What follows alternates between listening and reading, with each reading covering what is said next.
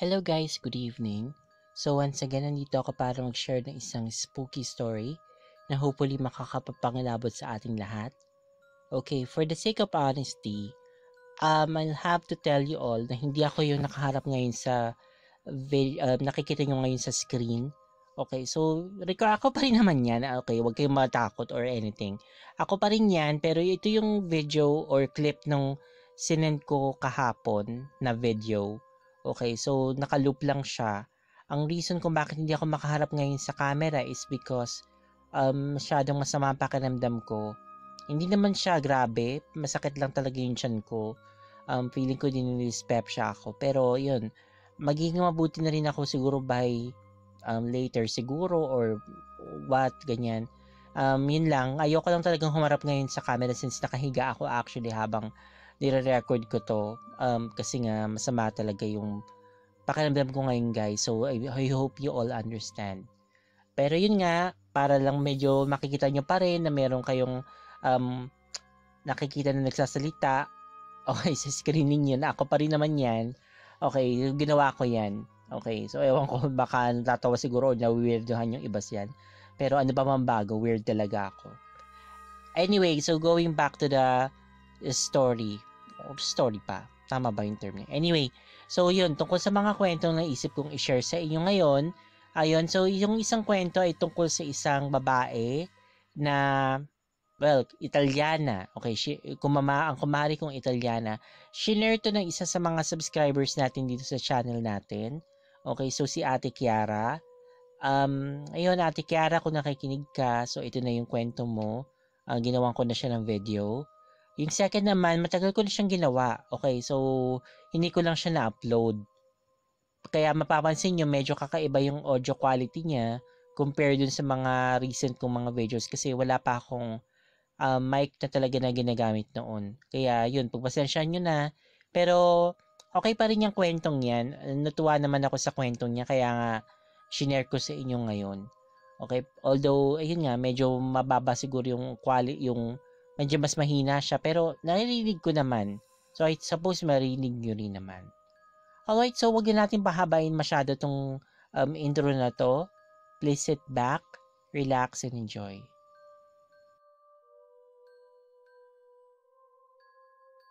Good day sa mga brothers and sisters na taga-subaybay sa Dolls and Spooks. Ito si Auntie Kiara ninyo. Gusto kong i-share ang true-to-life experience ng kumari kong Italyana. I'm sure makakakuha kayo ng aral sa nangyari sa kanyang buhay. Nagkakilala kami ng kumari ko noong 1998 nang mag-grade 1 ang anak kong si Elisa sa isang Italian elementary school. Nagkataon na doon din nag-aaral ang isang bata na ang pangalan ay Cathy. Nagkalapit ang loob ng dalawang bata at dahil doon, Naging close friend ko na din ang nanay ni Cathy. Ang mama ni Cathy ay nangangalang Ines. Hindi naglaon, nagkaroon kami ng deep trust sa isa't isa kaya nagawang ikwento ni Ines ang kanyang buhay sa akin. Para magkaroon tayo ng idea kung sino si Ines, ito ang kanyang personal profile. Si Ines ay maganda, matangkad, at may long black wavy hair. Mabait siya at madasalin. Pero, very vocal at prangka kung may kailangan siyang i-voice out na issue. Ang favorite saint niya is si Father Pio of Pietralcina. According to Ines, nagkaroon siya ng unang asawa noong time na nasa Sicily nakatira ang kanyang buong pamilya. May kapatid siyang 2 years younger sa kanya na si Jessica Noong dalaga pa si Ines, nawiwili din sila magkakapatid na magpunta sa disco gaya ng ibang kabataan. One night, dito niya na-meet ang kanyang future husband na si Roman. Na-develop silang dalawa, na in love, and then they decided to get married. It was a whirlwind romance kasi hindi nakilatis ng lubos ni Ines itong future husband niya. After ng kasal, they rented an apartment for themselves. Since relihiyosa nga itong si Ines, nakagwalian niya na na magbasbas ng holy water sa paligid ng bahay. Dito ang unang red flag na may something quite not right kay Roman. Nagreklamo ang asawa ni Ines na ang baho daw ng tubig na winiwisik niya. San daw nakuha at bakit ang baho ng tubig? Isa pang unusual trait ng asawa niya ay giniling na karne ang paborito nitong kainin, pero hilaw. Hanggang sa nagsimula na na magtanong si Ines sa asawa, Ano ang religion mo? Curious na tanong niya sa asawang si Roman. Wala, at hindi ako naniniwala sa Diyos mo. Sagot naman ni Roman na asawa ni Ines. Kung ganun, bakit ka nagpakasal sa simbahan? Tanong ni Ines. Dahil mahal kita at gagawin ko lahat ng kahit labag sa aking loob, basta ganap kang maging akin. Tugon ni Roman. Honeymoon night nila. Dito lalo lumabas ang mga nakakapagtangkang pangyayari. Ang location ng CR nila Ines ay right at the left side ng kanilang bedroom. 12 a.m., lumabas si Ines sa kanyang bedroom para mag-CR na may bigla siyang napansin na may taong nakatayo in between sa CR at bedroom nilang mag-asawa. Bagamat nawiwirdohan si Ines, pinakibit balikat na lang niya since naisip niya na baka friend lang yun ni Roman. Pagkatapos magdasal gaya ng kanyang nakaugalian, natulog na ulit si Ines. Si Roman naman ay busy sa panonood ng blue movie or porno. Roman, tawag ni Ines. Matulog na tayo, kanina ka pa dyan. Oo, susunod na ako, sagot ni Roman. Pero the whole night, hindi pumasok si Roman sa kwarto. Nada ang first night nila at hindi naka-home run si, Ro- si Roman. Pagising ni Ines nung kinaumagahan, wala na si Roman sa apartment. Pagbalik ng asawa, ay nag-usap sila. Bakit hindi ka pumasok sa kwarto natin kagabi? Dismayadong tanong ni Ines. Paano? May nakabantay sa'yo dun sa may kwarto natin. Sagot ni Roman na. Nagulat si Ines at nagsabi, Ha? Eh akala ko kaibigan mo yung nakatayo sa may door natin. Sinubukang romansahin ni Roman si Ines pero kulang sa sigla. Hindi nakascore si Roman. Kinaumagahan, same cycle. Nanood na naman ng blue film si Roman. Si Ines naman dahil sa pagod, hindi na nakapagdasal at dumiretso na sa matulog. Nakalimutan niya ding magbasbas ng holy water gaya ng kanyang nakaugalian. Maya-maya, nakaramdam na lang si Ines na may ang kumot niya ay natanggal ng kusa mula sa kanya at may taong naka-ponytail na sumusubok na sumiping sa kanya. Nang makita niya na hindi asawa ang kanyang katabi, biglang napasigaw si Ines sa takot at parang bula din na naglaho ang taong naka-ponytail. Pumasok si Roman sa kwarto at imbis na maalarma, sinubukan nito na sipingan ang asawa. Pero ganoon pa rin ang nangyari. Walang dilihensya. Umalis na naman si Roman ng apartment nila ng gabing yun. Kinagabihan, Saka pa lang bumalik si Roman sa apartment at laking gulat ni Ines dahil puro pasa ang mukha nito. Pinilit ni Ines na mag-usap sila ng masinsina ng kanyang asawa. Gustong malaman ni Ines ang totoong rason kung bakit parang kakaiba ang kinikilos ng kanyang asawa. Dito na nagtapat ng totoo si Roman. Pinagtapat ni Roman na kasali siya sa sekta na tinatawag na satanismo kaya pumayag ang mga kasamahan ni Roman na magpakasal sila sa simbahan ay gusto nila na isacrifice ni Roman si Ines sa black mass nila dahil virgin pa ito. Sa kalaunan, umayaw si Roman kaya ginulpi siya ng kanyang mga kasama. Sabi pa ni Roman, napakamakadiyos mo, Ines kaya may nagbabantay na anghel sa'yo. Hindi ako makapasok. Pag magkatabi tayo, nangihina ako Gustuhin ko man mabuong union natin, hindi ko magawa. Sinabi din ni Roman na ang kaluluwa niya ay pag-aari na ni Satanas. May covenant sila signed with his own blood. Parang binuhusan ng malamig na tubig si Ines pagkatapos marinig ang confession ni Roman. Gayunpaman, dahil mahal ni Ines si Roman, nagsuggest si Ines na umalis ang ng sawa sa grupo ng mga satanista at mag-undergo ng exorcism ritual sa Turin.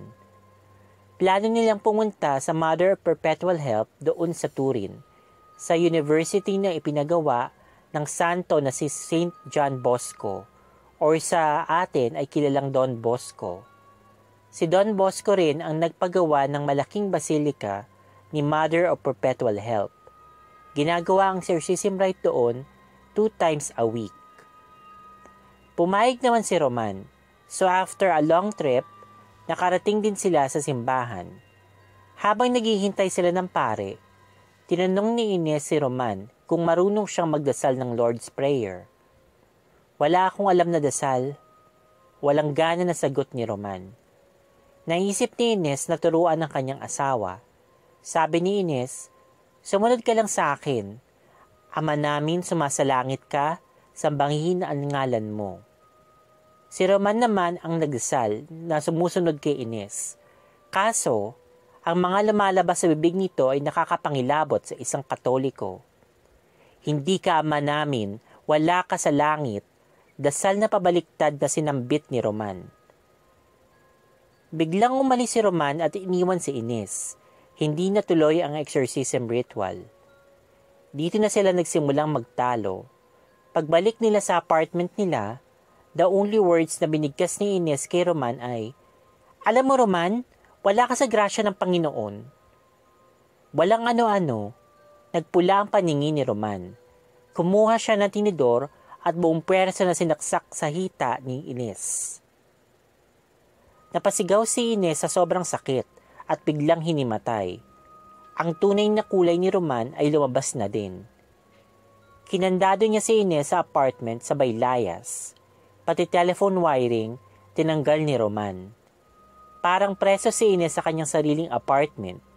Ang parents naman ni Ines, nag-worry dahil 5 days na hindi tumatawag ang anak nila at hindi rin nila makontak. Inutusan ng nanay ni Ines ang tatay at sister niya na i-check ang situation ng kawawang babae. Pumunta ang tatay at sister ni Ines na si Jessica sa apartment na siya naman pagdating ni Roman. Nagtalo silang tatlo at biglang kinuha ni Roman ang koleksyon niyang samurai. Sa takot ng tatay ni Ines, mabilis ito na umalis at naiwan ang anak na si Jessica na hindi natinag at patuloy na inaaway si Roman. Bilang gante, kinagat nito ang kamay ni Jessica sa may pulso at nilayasan sila. Sa wakas, nagawang makalabas ni Ines at kinuha siya ng kanyang pamilya. Siya nga pala Pagkatapos na makagat si Jessica, nagbago na ang ugali nito. Naging maldita na daw ito. Gumawa naman ng hakbang ang pamilya ni Ines na ihabla sa korte si Roman at pinapulis. Ngunit biglang naglaho si Roman at ever since, hindi na nila nakita. Pinagwalang bisa din nila ang kasal ni Ines at Roman coming from Rome itself. Pero ganun pa man, kinailangan na mag-undergo ng exam ni Ines. Ki- nagkaroon ng internal exam para patunayan na virgin nga siya. And it was proven. So, na-dissolve ang marriage ni Ines at Roman.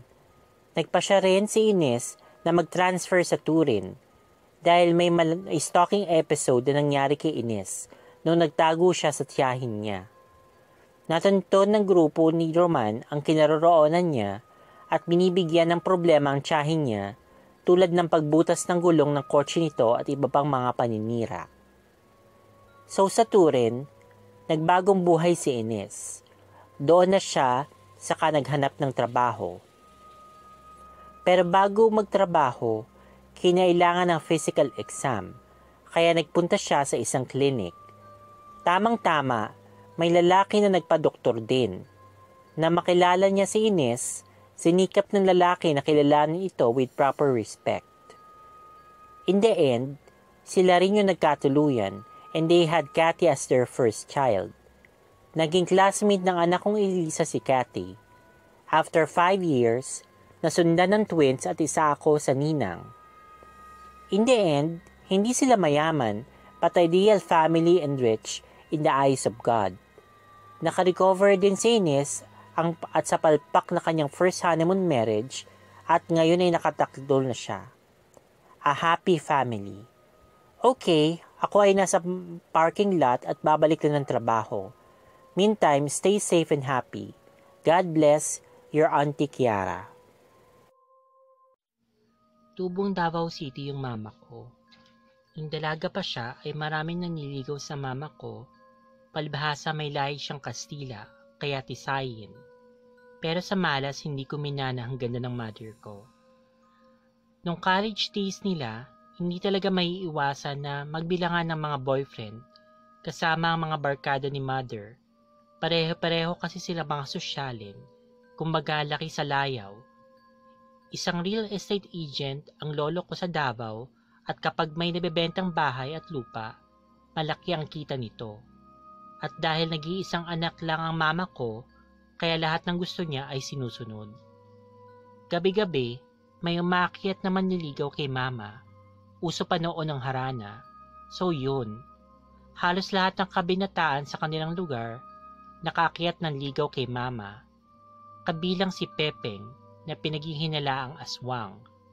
Kasi sabi ng mga kapitbahay ni mama, especially yung mga lalaking nakakasabay niya sa pag-akyat ng ligaw sa mama ko, tuwing kinakausap ni ito ni mama ay hindi raw ito makatingin ng tuwid sa mata ng mama ko. At pag binibigyan naman ng lolo ko ng maiinom, ay magalang nitong tinatanggihan na pinagpapasalamat ni mama dahil kung totoong aswang nga ito, ay wala itong balak na hawaan ng mama ko. Dahil sa maraming mga manliligaw ang mama ko, ay hindi talaga maiwasan na may mainggit kay mama, tulad na lang ni Milagring na pinigihinalaan din ng isang aswang. Malaki daw ang gusto ni Milagring kay Pepeng.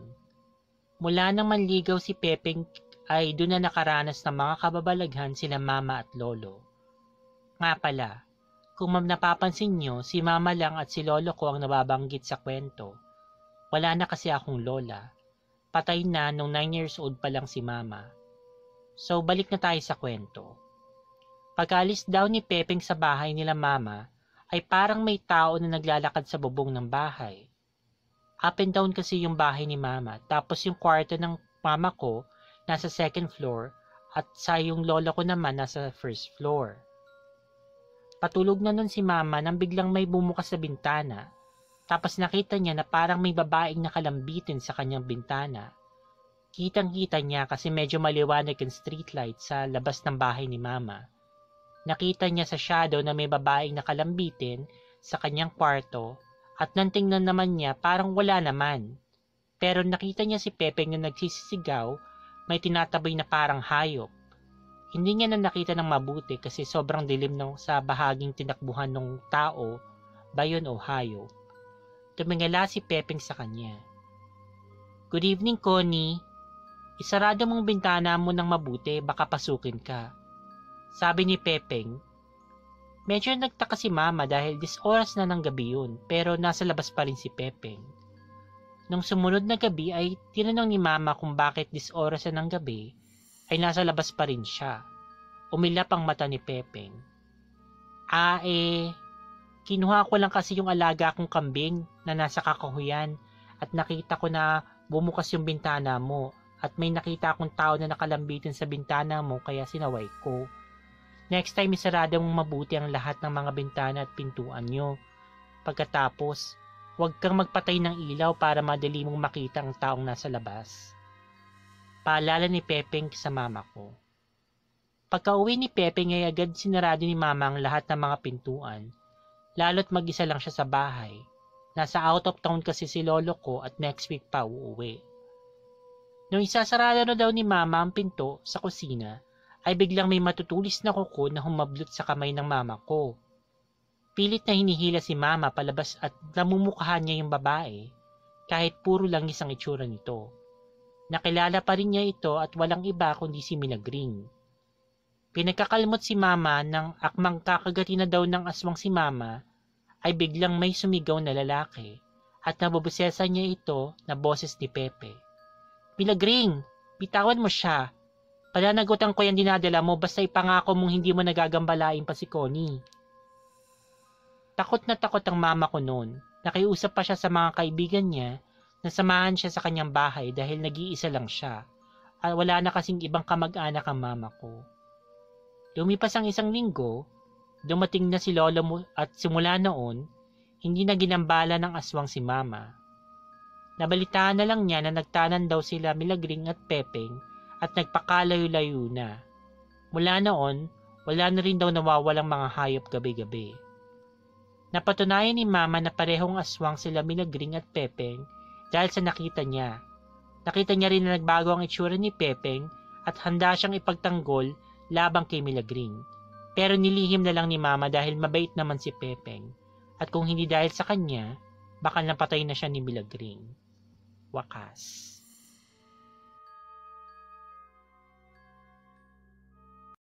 Share sa inyo ngayon. Um, so ito yung first story, yung tungkol dun sa kumari kong Italiana. Okay, so yun yung sinasabi ko guys. So kapag pipili kayo ng partner ninyo, whether girlfriend, boyfriend, magiging asawa lalo na, make sure na kilalanin nyo lang muna ng mabuti, hindi yung padalos-dalos kayo. Katulad niyan, okay, so akala niya siguro naka-jackpot siya or akala niya na-meet niya na talaga yung man of her dreams. It turns out na satanista pala yung nakuha niya, di ba? So, hindi naman siguro ganun ka-extreme yung nangyayari sa pang araw-araw, pero still, okay, di ba, satanista. Okay, eh, kunyari, sabihin natin sa totoong buhay, what if drug addict yun o mamamatay tao pala? Okay, so kaya tayo dapat talaga mapagmatsyag yung hindi naman siguro masama na talagang mag-background check ka dun sa taong yun. Hindi for the purpose na malaman kung mayaman siya o hindi. Kung alamin mo lang kung ano ba tong taong to, mabuti ba tong tao, um, may bisyo ba to na dapat mong malaman, yung mga ganong klaseng bagay. Kasi nga, kung masyado kang padadasalas, puro heart yung gagamitin mo, hindi mo gagamitin yung brains mo, mapapahamak ka talaga most of the time. Ayun, so, yun lang ang advice ko sa inyo guys kapag pipili kayo ng partner ninyo. Kasi katulad ng nangyari sa kanya, muntik-muntik ka na siya. Ang balak pala sa kanyang gawin, gagawin niya siyang parang alay. Okay? So, siya naman eh, parang in love na in love siya, tapos gagawin lang pala siyang ganun. Alay lang pala. Okay, so, yun nga. So please be careful. Alamin yung mabuti kung anong meron yan sa taong kinarelasyon ninyo. Okay? And then para bago pa uh, mahuli ang lahat, at least maiwanan nyo siya or magagawa kayo ng paraan para maligtas yung sarili ninyo.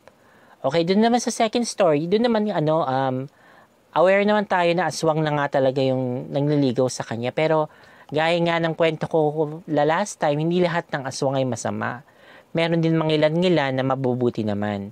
Ang kaso, itong lalaking to, um, hindi na talaga sila nagkaroon ng chance nito ni Connie, yung bida doon sa um, kwento sa second story. Kasi naman, pinakailaman niya yung kapwa niya aswang and then nabuntis tuloy. So, kailangan niya ng panagutan yun. Okay? Kasi itong aswang na babae, mukhang bitter, hindi talaga siya makakapayag na hindi mapunta sa kanya yung lalaki.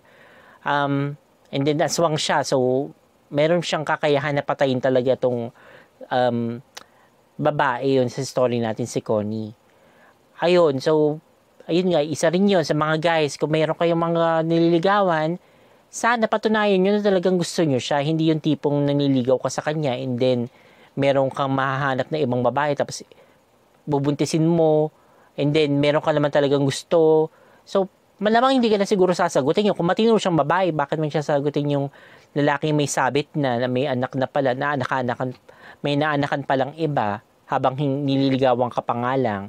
Okay? So, kung matino kang babae, hindi mo tatanggapin yung ganun lalaki. And then, kung matino ka namang lalaki, sana since meron ka lang nabuntis, siya na yung panagutan mo. Okay? Kung hindi mo man siya pakasalan, edi ano, so bigyan mo ng sustento yung lalaki, ay sorry, lalaki, bigyan mo ng sustento yung anak mo, ganyan. Bakit teka nga sandali, bakit parang naging relationship um, advisor na ako ngayon, eh, tungkol sa kababalagan ito.